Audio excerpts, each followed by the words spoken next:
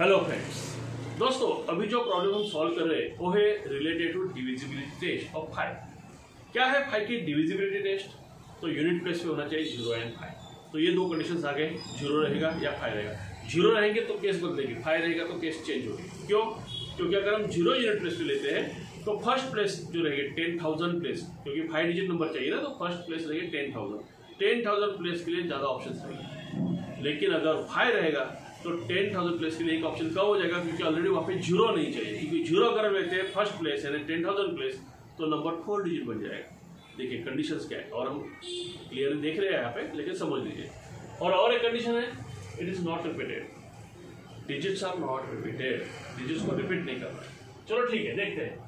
तो हम क्या करेंगे? दो केसेस अलग अलग लेंगे, एक ज़ीरो की और फाइव की at a unit place so case one लेते हैं अभी।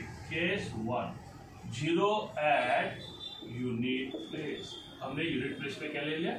ज़ीरो अगर ज़ीरो को यूनिट प्लेस पे लेते हैं तो नंबर ऑफ़ वेज किसके लिए?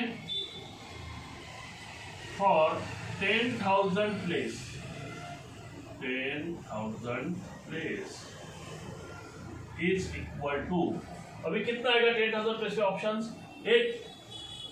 यहाँ पे एक हमने यूज़ कर लिया है। ज़ीरो तो फिक्स है। बराबर। अगर ज़ीरो फिक्स है तो बचा ऑप्शन कितने हमारे पास? फाइव ऑप्शन तो टेन थाउज़ेंड प्लेस के लिए सारे फाइव ऑप्शन अवेलेबल है। Clear number of ways for one thousand place thousand place thousand place के लिए क्या आएगा? एक यूनिट प्लेस के लिए क्या ये फाइव है तो क्या बचे? Four then number of ways for thousand के बाद हंड्रेड प्लेस हंड्रेड प्लेस के लिए बचे थ्री क्योंकि रिपीटेशन अलाउड नहीं है. देन नंबर ऑफ़ वेज किसके लिए? For tenth place ten place के लिए क्या आएगा? टू आएगा. And then number of ways for unit place जिसके लिए हमने फिक्स किया है ज़ीरो ही लेना है तो हमारे पास ऑप्शन कितना है? एक ही ऑप्शन है. So, total numbers, total numbers with unit place. क्या है unit place unit place at zero कितने आएँगे? इन सबका product five into four into three into two into one अब इन सबका प्रोडक्ट हमें निकालना है.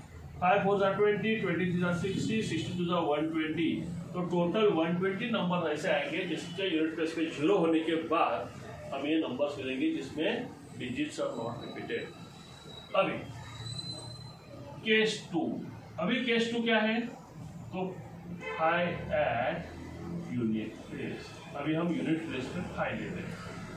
ठीक है? अगर हम फाइव लेते हैं यूनिट प्लेस पे तो number of ways for ten thousand place कितने हो जाएँगे? देखिए, अभी कंडीशन क्या है? एक तो फिक्स रहेगा यूनिट प्लेस पे फाइव तो फाइव को अवॉइड करना भी क्योंकि रिपीटेशन नहीं चाहिए। बचे हमारे पास कितने? टोटल सिक्स थे ना? सिक्स में से एक कम हो गया। फाइव बच गए। फाइव में से भी क्या है कि जो टेन थाउज़ेंड प्लेस है ना, वहाँ पे हम ज़ीरो नहीं ले सकते। नहीं तो फोर डिजिट नंबर हो जाएगा। स्टार्टिंग ज़ीरो होगा तो नंबर फोर डिजिट हो जाएगा। तो स्टार्टिंग ज़ीरो भी नहीं चाहिए। मतलब ज़ीरो भी नहीं लेना है फाइव भी नहीं लेना तो कितने बचे? फोर बचे। तो टेन थाउज़ेंड प्लेस के लिए कितने बच गए? फोर इस स्टेटमेंट को आपको यहाँ पे फिर से लिखना है। हा? मैं थोड़ा सा उसको जगह बचा रहा हूँ। फिर number of ways for thousand place अभी थाउज़ेंड प्लेस के लिए कितने बचेंगे? थाउज़ेंड प्लेस के लिए ज़ीरो चलेगा ना? टेन थाउज़ेंड प्लेस के लिए ज़ीरो चाहिए, बाद में ज़ीरो चलेगा। तो ज़ीरो चलेगा। टोटल सिक्स थे सिक्स में से एक यहाँ पे गया, एक यहाँ पे गया, दो गए। तो बचे कितने? फोर आउट ऑफ़ सिक्स दो यूज़ किया हमने, एक यूनिट प्लेस पे यूज़ किया, एक थाउज़ेंड प्लेस पे यूज़ किया तो दो यूज़ किया तो बचे four out of six four hundred plus के लिए तीन डिजिट गए, तीन बचे। टेन प्लस के लिए फोर डिजिट गए टू बचे। और यूनिट प्लेस के लिए हम फिक्स कर रहे फाइव तो वन आ गए। And therefore total numbers total numbers कैसे नंबर्स विथ यूनिट प्लेस कितना यूनिट प्लेस लेना है हमें? फाइव इज़ इक्वल टू क्या आएगा? फोर इंटू फोर यहाँ से four into four into three into two three into two into one four four जा सिक्सटीन सिक्सटीन थ्री जा. कितना आएगा सिक्सटीन टू जा? Forty eight forty eight two जा. Ninety six ninety six one जा ninety six तो ninety six आ गए देयरफॉर टोटल रिक्वायर्ड नंबर्स कितने आएँगे? टोटल रिक्वायर्ड नंबर्स हम मिलेंगे इन दोनों का एडिशन कितना आएगा एडिशन इन दोनों का? 120 प्लस 96 120 प्लस 96 हो गया, कितना हो जाएगा? Six nine plus two eleven carrier one two one six so two one six is the correct answer तो हमें आंसर मिल गया टू वन सिक्स तो इस तरह से हमें इस प्रॉब्लम को सॉल्व करना है। जहाँ पे हमें कितने कंडीशन यूज़ करने थे? एक तो डिविजिबिलिटी टेस्ट की, उसमें भी ज़ीरो के कारण दो बनेंगे, क्योंकि टेन थाउज़ेंड प्लस ज़ीरो नहीं चाहिए। फिर रिपीटेशन में होना चाहिए वो भी एक कंडीशन थी फाइव डिजिट नंबर चाहिए था। तो इस तरह सबको सोच के अभी चलना पड़ता है लॉजिकली तो हमें परफेक्ट आंसर आएगा इस टाइप के प्रॉब्लम्स में। काफ़ी इस टाइप के नॉलेज हमने दे दिए हैं।